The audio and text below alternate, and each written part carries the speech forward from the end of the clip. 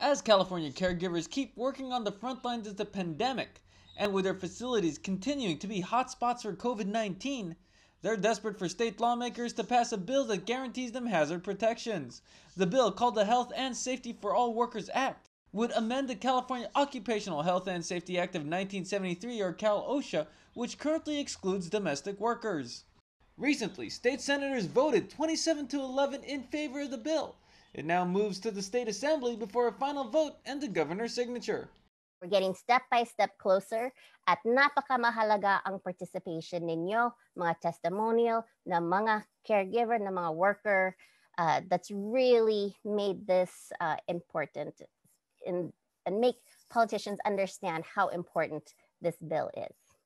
The bill would ensure domestic workers, many of whom are immigrants and women, would be provided the same necessary safety protections as other workers in California, which includes personal protective equipment or PPE, health and safety training, and legal protection against retaliation should they feel the need to speak up about their own health and safety at work.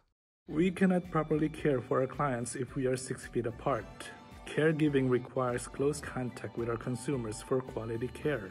Just like doctors and nurses, we are frontliners caring for people who are most vulnerable to the illness. Yet, we are not guaranteed the same protective gears as all other essential workers. More and more caregivers are being exposed to the virus. The bill was introduced in February but had received momentum as caregivers have been at the forefront in the fight against COVID 19. A majority of coronavirus related deaths among health workers in Los Angeles County involve caregivers, and many of them were identified as Asian. Going back to work in a pandemic without health and safety protections, I will be putting my life at risk.